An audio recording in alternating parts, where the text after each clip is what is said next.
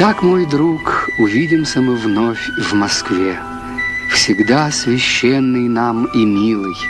В ней знали мы и дружбу, и любовь, И счастье в ней дни наши золотило. И с детства, друг, для нас была она Святилищем дорогих воспоминаний, Протекших бед, веселий, слез, желаний. Здесь повесть нам везде оживлена, Здесь красится дней наших старина.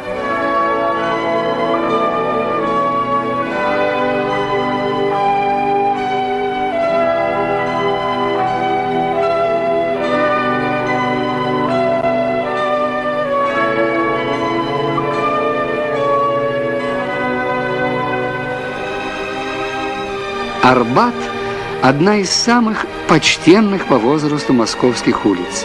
Само название – весточка из 15 века.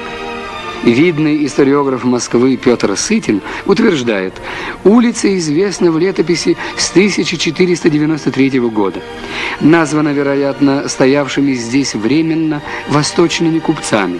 Слово «арбад» по-арабски обозначает «пригороды», каковыми и были эти местности, когда городом назывался только Кремль.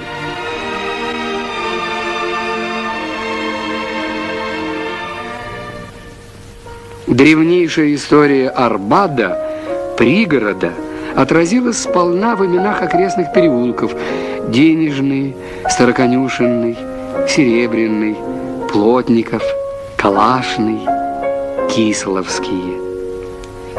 Государевы плотники, конюхи, чеканщики звонкой монеты, серебряных дел мастера, пекари да кислошники-квасники, трудовой ремесленный люд обживал здешние места. С середины XVIII века московское дворянство начало заселять улицы Причистенку, Остоженку, Поварскую, ныне улицу Воровского – да и Арбат заодно. Новый аристократический район Герцен с иронией окрестил Сен-Жерменским предместьем.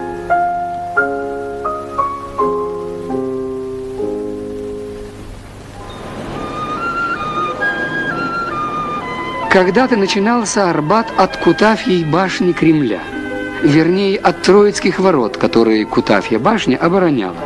В древности зарождалась тут Володская дорога через Волок-Ламский на Господин Великий Новгород.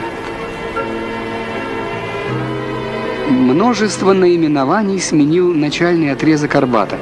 Смоленской улицей нарек его царь Алексей Михайлович. И Воздвиженской называли, и просто чисто по-московски Воздвиженкой. В 1946 году получила улица имя Калинина.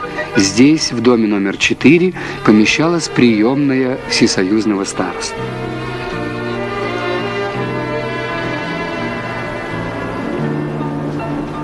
Попросту по-дружески Ленинкой именуют москвичи знаменитую на весь мир библиотеку. Архитекторам Щуко и Гельфрейху удалось создать проект здания гиганта, словно включающего в себя памятники старого зодчества, расположенные неподалеку. Такие, например, как дом, приписываемый Василию Баженову, где жила великая крепостная актриса Просковья Жемчугова. Потом декабрист Якушкин, воротившийся из 30-летней сибирской ссылки. Рядом с маленьким шедевром Баженова соседние дома кажутся и тяжеловесными, и неуклюжими. Впрочем, не будем ленивы и нелюбопытны, как говаривал Пушкин. У каждого здания своя история, своя память.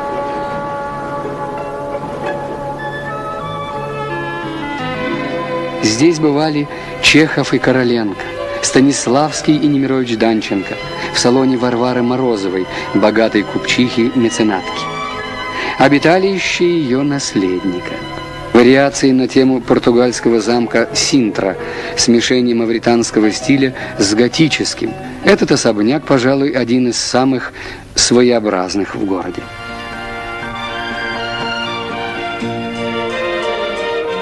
Прага, Московские извозчики перекрестили ее в Брагу. Гремело заведение купца Тарарыгина на всю матушку Москву. Кутили тут военные, солидные врачи, успешливые адвокаты. Словом, те хорошие господа, чей быт с такой безжалостной точностью умел писать Иван Бунин, который студентом еще нередко останавливался в скромных номерах гостиницы «Столица», неподалеку от блестящей Праги. В памяти осталось, непрестанно валит за окнами снег, глухо гремят, звонят по Арбату конки, вечером кисло воняет пивом и газом, вспоминал Бунин позже. Известный в Москве дом с рыцарями по сей день самое большое здание на Арбате. В начале века стали домовладельцы украшать свои подъезды фигурами витязей, львов, сказочных грифонов.